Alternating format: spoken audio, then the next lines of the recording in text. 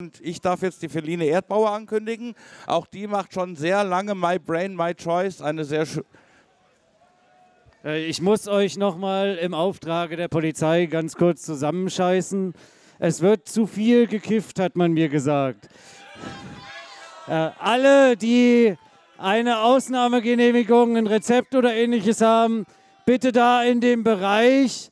Wenn die Polizei hier nochmal durchgeht und es riecht wieder so viel nach Kiffen, dann müssen sie leider in ihrer Gangart etwas härter werden. Das ist ein freundlicher Hinweis, sage ich mal.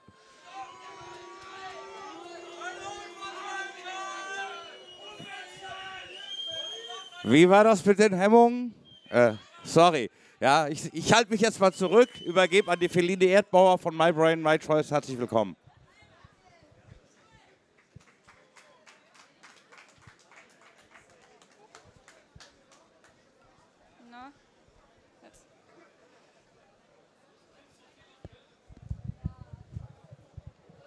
Hallo.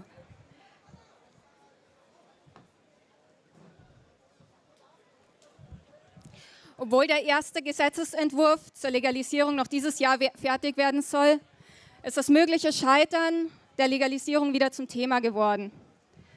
Aber die größte, die größte Hürde ist nicht mehr eine ignorante Bundesregierung, sondern sind Dinge wie das EU-Recht und die Konventionen der UN. Und dabei können wir uns aber an internationalen Beispielen orientieren. Kanada, Uruguay und Teile der USA sind bereits an den Konventionen der UN vorbeigekommen.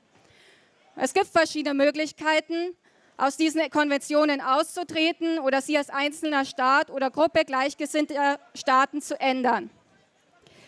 Das internationale Drogenverbot steht weltweit seitens demokratischer Staaten zunehmend in der Kritik. Die Regularien der EU-Ebene sind schwieriger zu übergehen, aber auch das ist nicht aussichtslos und die Bundesregierung ist dran. Jetzt denken wir, dass es in den, viele andere natürlich auch, aber wir rufen auch dazu auf, in den nächsten Monaten vor allem die wichtigen Details zu diskutieren, damit die Legalisierung bestmöglich gestaltet wird, wenn sie denn kommt. Und wir glauben daran, dass sie kommt. Wir sind optimistisch, aber wir müssen auch noch gewisse Dinge verbessern, damit die Legalisierung wirklich auch in unserem Sinne gestaltet werden kann. Wir geben euch unsere Einschätzung zu vier Aspekten mit, die wir besonders wichtig halten, ähm, denen wir mehr äh, Diskussionen wünschen, kritische Diskussionen und mehr Öffentlichkeit, um diesen Druck zu erzeugen, dass sich das bessert. Das ist die, das Thema der Wiedergutmachung äh, zum Cannabismarkt, zu THC-Obergrenzen und zu den Altersgrenzen geben wir euch unsere Einschätzung mit. Um Betroffene zu entschädigen und Menschenrechte wiederherzustellen, müssen die Vorstrafen im Zusammenhang mit Cannabis gelöscht werden. Laufende Verfahren müssen eingestellt werden. Für eine faire Legalisierung müssen die umfassenden Schäden, die Menschen wegen der Strafverfolgung erfahren haben, von Führerscheinentzug bis Traumatisierung durch Hausdurchsuchungen, ebenso wie die Geld- und Haftstrafen wieder gut gemacht werden. Und das ist enorm, aber die, aber die Verfolgung von Cannabiskonsumentinnen war und ist ein kolossaler Fehler. Und das darf im Zuge der Legalisierung nicht ignoriert oder klein gehalten werden. Ohne eine intensiven und ernst gemeinten Auseinandersetzung mit den Schäden, die das Cannabisverbot individuell und gesellschaftlich verursacht hat, ist die Erarbeitung eines fairen und gerechten Cannabisgesetzes nicht möglich. Damit alle von der Legalisierung profitieren können, braucht es gleichwertige Chancen zur Teilnahme am neuen Cannabismarkt. Die Politik darf es nicht möglich machen, dass der Markt von großen Unternehmen gekapert wird, ausschließlich von großen Unternehmen. Es muss für jede Person möglich sein, selbst Cannabis anzubauen, aber auch in den Markt als Kleinunternehmerin einzusteigen. Das Geschäft mit Cannabis darf nicht zum Privileg werden. Niemand darf zurückgelassen werden und schon gar nicht Communities und Menschen, die übermäßig von der Strafverfolgung betroffen waren und sind. Cannabis ist heutzutage durchschnittlich stärker als vor 50 Jahren. Deshalb hat Burkhard Blinert kürzlich die Debatte zu THC-Obergrenzen angestoßen. Allerdings ist der hohe THC-Gehalt eine Folge des Verbotes. Mit der, zunehmenden mit der zunehmenden Intensität der Strafverfolgung wurden die Drogen auf dem illegalen Markt auch stärker. Es wäre falsch, mit Hilfe von Obergrenzen einen ähnlichen Fehler wie bei dem Verbot zu begehen. Wenn es auf dem legalen Weg Cannabis nicht auch in seiner stärkeren Variante gibt, wird man es sich auf dem illegalen Markt beschaffen. Der illegale Markt wird so nicht eingedämmt und hochpotentes Cannabis wird auf diesem Weg nicht sicherer. Expertinnen aus der Zivilgesellschaft, wie wir es sind, und Politik müssen andere Ansätze als Obergrenzen nutzen, um für die Sicherheit von uns allen zu sorgen. International arbeiten Organisationen auch an Empfehlungen dafür, was man aus anderen Ländern lernen kann ähm, und geben die auch uns in Deutschland an die Hand, damit wir Dinge besser machen als in anderen Ländern. Und die Transform Drugs Foundation, die die Legalisierungen international ausgewertet hat, schreibt,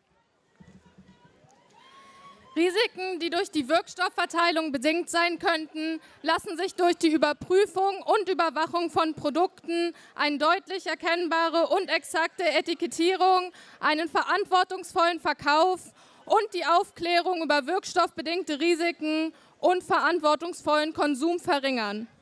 Dieses Maßnahmenpaket ist wahrscheinlich zielführender und mit weniger Problem verbunden als der Versuch, willkürliche Wirkstoffobergrenzen festzulegen, insbesondere wenn diese zu niedrig angesetzt sind. Jugendliche müssen auch bei einer Cannabis-Legalisierung besonders geschützt werden. Egal ob Alkohol oder Gras, für Minderjährige kann der übermäßige Konsum besonders gefährlich sein. Deshalb steht fest, Cannabis wird für Menschen ab 18 Jahren legal verfügbar sein. Aber trotz seines Verbotes für Minderjährige werden Jugendliche weiter Joints, Pfeife und Bong rauchen. Gesetzliche Altersgrenzen halten nicht vom Interesse an Drogen ab. Schweizer Wissenschaftler haben kürzlich vorgeschlagen, Cannabis unter einer bestimmten THC-Obergrenze immerhin ab 16 Jahren kontrolliert abzugeben, um der Realität gerecht zu werden. Um also Jugendliche vor den gefährlichen Streckstoffen und intransparenten Wirkstoffanteilen und dem Kontakt zum illegalen Markt zu schützen, müssen wir unbedingt über niedrigere Altersgrenzen diskutieren. Nach nun fast 100 Jahren Cannabisverbot sind wir endlich an einem Wendepunkt angekommen. Die Cannabis-Legalisierung soll noch in dieser Legislaturperiode kommen. Wir wissen zwar noch nicht, wie die Legalisierung letztendlich im Detail aussehen wird, können aber davon ausgehen, dass die Legalisierung erst einmal nicht perfekt wird. Mit der Zeit können wir beobachten, lernen und nachjustieren, wo es nötig ist. Aber die Legalisierung kommt. Es ist dringend an der Zeit, dass Cannabis endlich legal wird. Und als My Brain, My Choice Initiative werden wir uns in den nächsten Monaten für eine sozial gerechte Gestaltung der Cannabis-Gesetzgebung einsetzen und uns dabei auf die internationalen Lehren der bisherigen Legalisierung berufen. Und daneben bereiten wir für die öffentliche und politische Debatte bereits den nächsten großen Schritt zur drogenpolitischen Frieden vor. Das Thema der nächsten Bundestagswahl muss die Entkriminalisierung von allen Menschen, die illegale Drogen nehmen werden. Wir haben vor wenigen Wochen unseren Diskussionsvorschlag dazu veröffentlicht. Und zwar sind dies 13 Forderungen, die auch für Menschen ohne Erfahrung mit der Strafverfolgung nachvollziehbar machen, worum es uns eigentlich geht. Im Internet unter dem Link www.entkriminalisierung.info könnt ihr unsere neue Kampagne finden und unterstützen.